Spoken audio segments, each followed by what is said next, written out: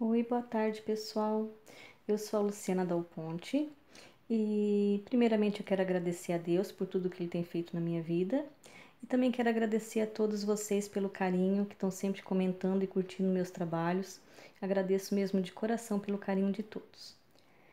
Bom, como vocês sabem, eu tô agora uh, eu estou também uh, começando a trabalhar com projetos. Tem muitas pessoas que estão com dúvidas, perguntando se vão conseguir fazer o projeto, se vão conseguir pintar. Então, eu resolvi hoje trazer uma amostra de como eu pinto os trabalhos. Tá? Então, vocês me desculpem, é o primeiro vídeo que eu estou fazendo, mas sempre com o intuito de poder ajudar. Então, vamos lá.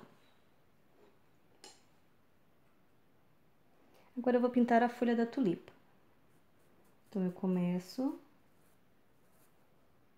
com o verde oliva.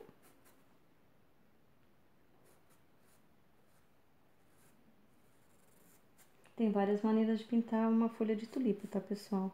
Esse é o jeito que, esse é o jeito que eu pinto.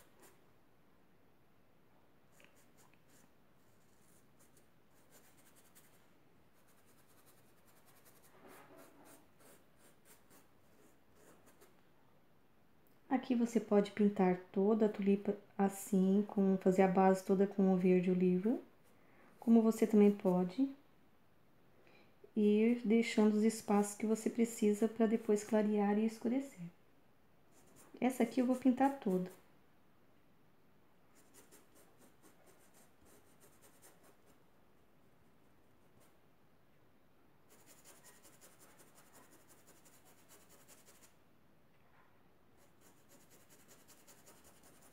Você tem que dar uma forçadinha no pincel, porque para penetrar bem a tinta. Para o emborrachado absorver bem.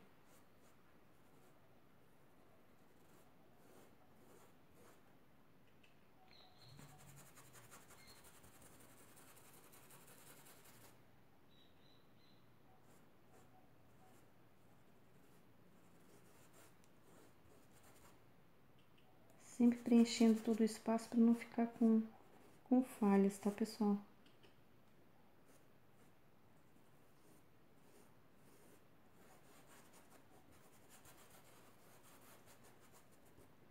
Daí aqui eu vou escolher o lugar que eu quero colocar sombra e que eu quero colocar a claridade.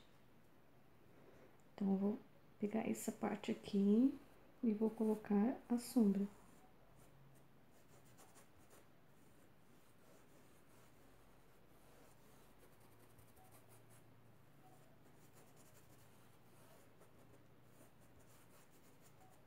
Agora eu lavo o pincel. E vamos colocar a luz.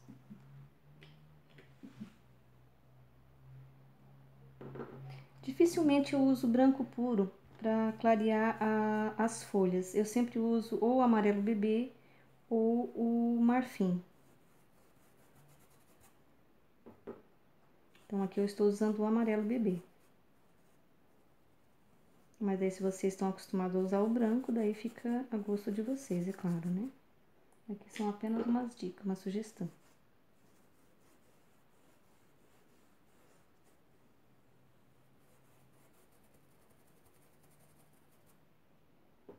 eu vim aqui desse ladinho aqui, ó, colocando um pouquinho também de claridade.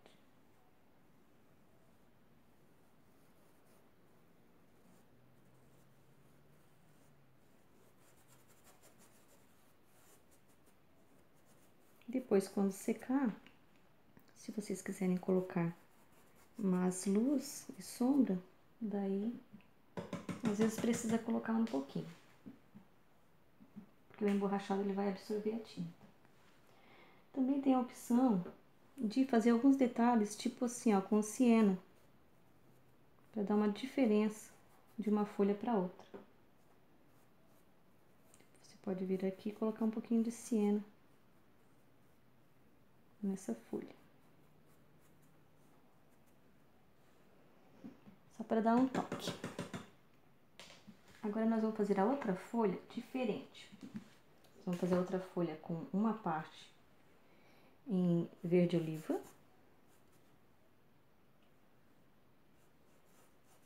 Esse lado aqui vai ser o mais escuro, né? Então, já vamos colocar o verde oliva aqui. Já vou aproveitar aqui essa parte aqui que está por baixo. Então, ela precisa receber mais sombra. Já vou colocar o verde pântano. Quem não tiver o verde pântano, pode estar tá usando o verde oliva com um pouquinho de azul marinho. Vai dar um tom de verde mais escuro. Então, vamos aqui colocando o verde oliva. Já respeitando aqui o ponto de sombra. Desse lado, nós vamos usar agora o verde pistache.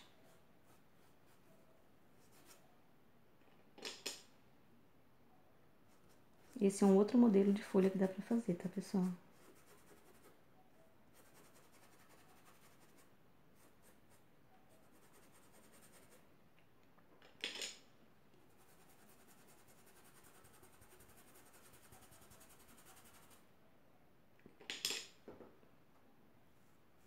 Esse lado aqui, ó, eu já estou clareando. Aqui na beirada da folha.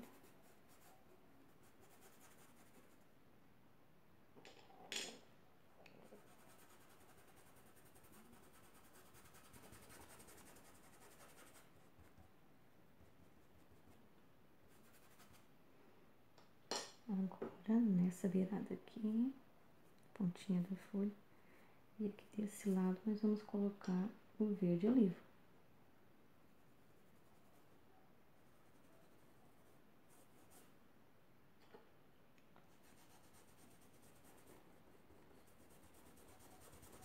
Esse é o modelo da folha de tulipa mais simples, mais fácil de fazer. Tem várias maneiras de pintar folha de tulipa.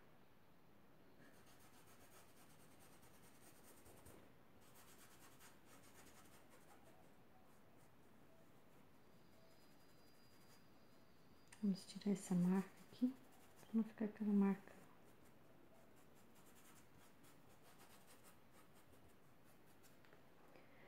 Essa aqui, se quiser colocar um pouquinho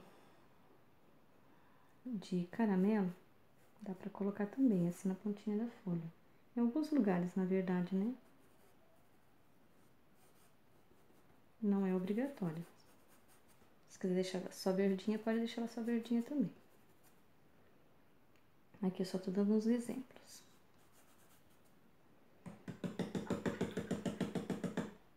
Se quiser clarear um pouquinho mais, eu posso vir com o amarelo, bebê, ou com marfim.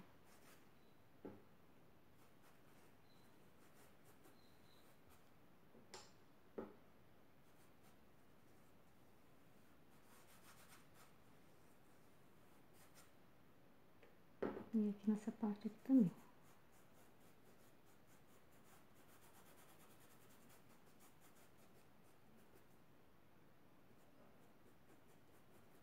Deixa a pontinha aqui mais clarinha. Ali na outra folha, como ela já tá, já absorveu mais a tinta, vamos colocar um pouquinho mais de claridade.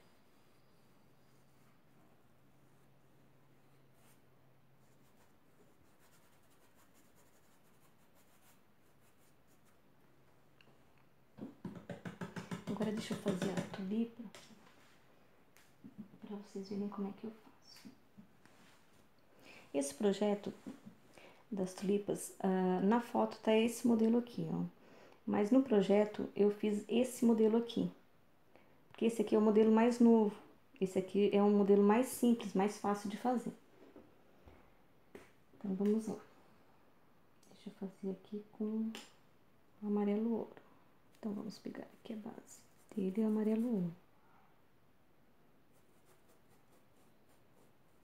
Aqui eu venho preenchendo essa parte aqui. Mas eu não venho até aqui em cima, porque ali eu quero que fique mais clara.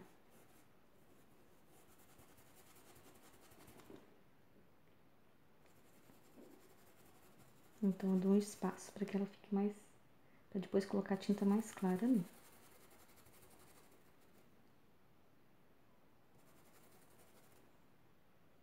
Mesma coisa aqui em cima. Podemos fazer a base com amarelo ouro aqui também. Mas aqui eu vou colocar a cor mais escura, que seria a sombra. Então, vou colocar um pouquinho de caramelo.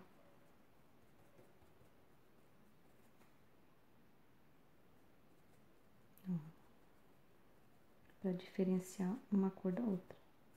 Aqui eu já venho aqui para baixo, puxando o caramelo também. Dá uma puxadinha, dá uma esfumaçadinha. Puxa aqui um pouquinho.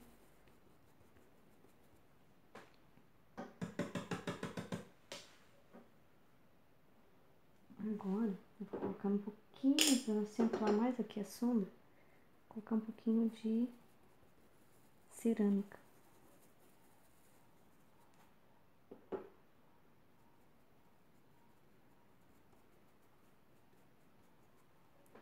Essa seria a base.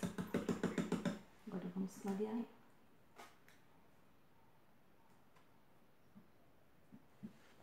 Agora eu clareio com o amarelo limão, sempre com a tinta pelo lado de cima. Daí que se eu quiser dar uma entradinha aqui, ó, pra fazer como se fosse duas pétalas, posso dar uma entradinha ali também.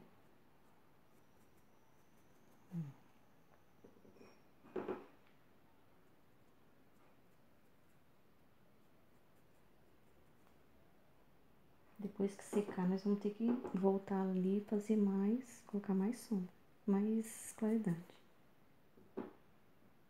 Daí com amarelo bebê. Vem aqui, puxa.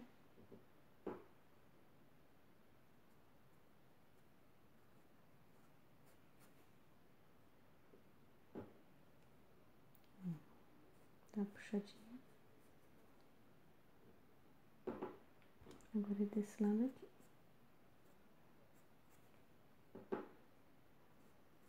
Agora desse lado nós vamos fazer ao contrário. Aqui, para esse lado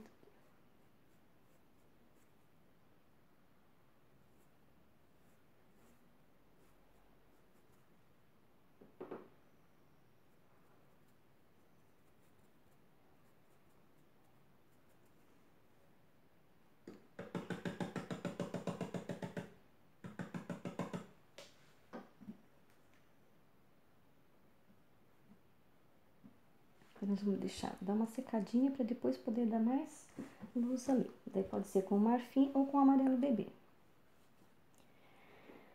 Agora, eu vou fazer a outra folha.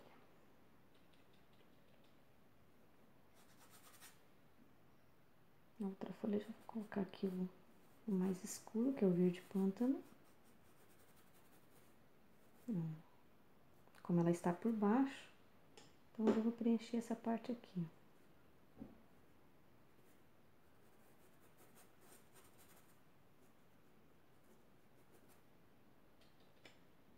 E já puxo pra cima aqui com o verde olivo. Nunca deixa marca. Sempre... Na verdade, essa folha era para ser uh, pintada primeiro, né, pessoal? Porque ela está por baixo. Mas como eu tô fazendo um vídeo aqui mais rápido, mas aí vocês em casa com mais calma, daí vocês percebam o que tá por baixo e o que tá por cima, para poder iniciar as folhas, as tulipas.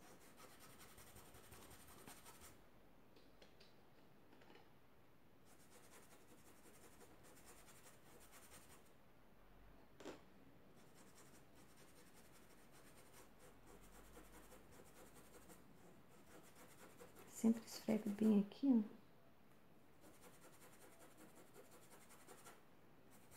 Pra absorver bem a tinta no emborrachado.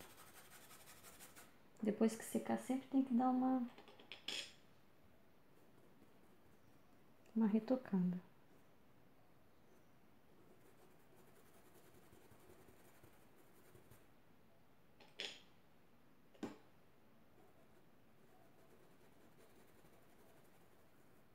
Dá uma passadinha só aqui pra tirar aquela aquela marca, né? Deixa eu pegar mais tinta aqui.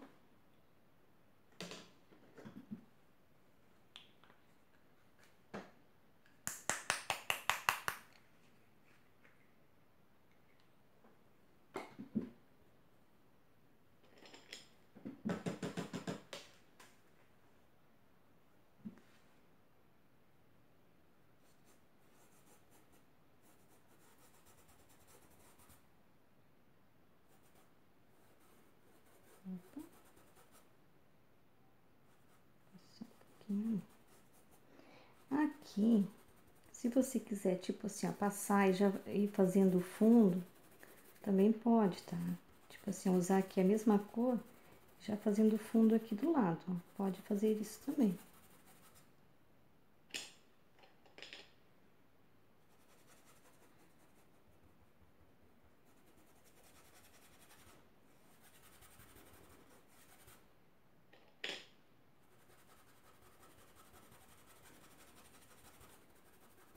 Nessa parte aqui que eu tô usando o verde pistache, eu também poderia estar usando o amarelo ouro, amarelo limão. Não amarelo ouro, amarelo limão.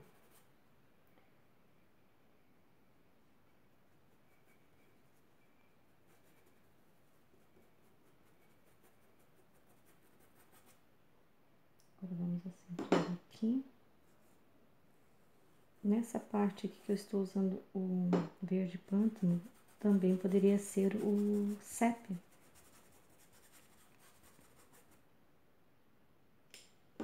Aqui eu vou colocar o verde oliva. Com um pouquinho de verde pântano. Nessa partezinha aqui onde tem o fundo. Porque senão vai ficar tudo muito parecido.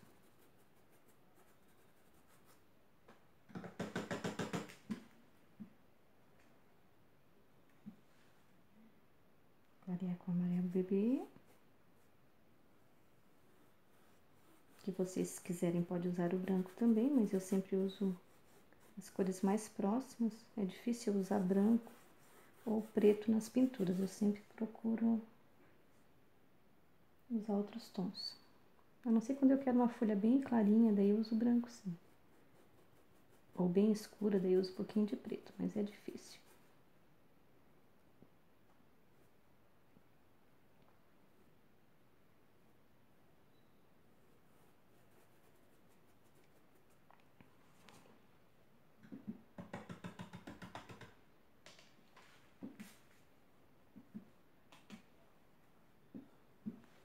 Essa folha aqui eu vou fazer mais marronzada, eu vou usar o sépia.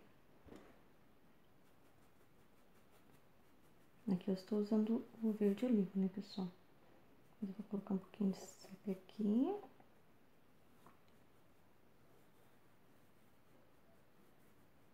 Que ela está por baixo da tulipa. E aqui também.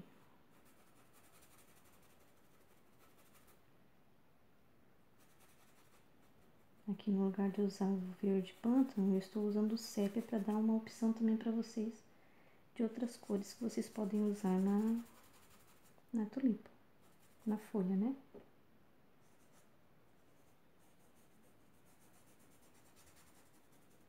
Então, aqui ela tá por baixo dessa outra folha da tulipa.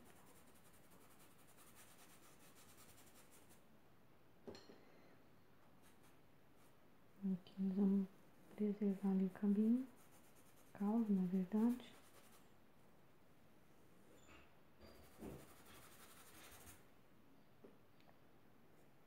E aqui também.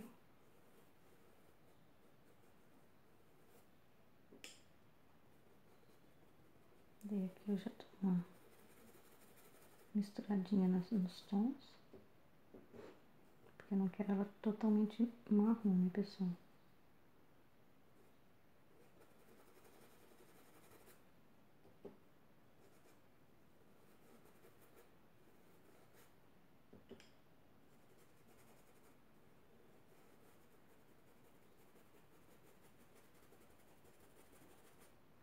Aqui eu vou usar um pouquinho de amarelo limão, só para vocês verem como é que fica aqui com o verde oliva. E no caso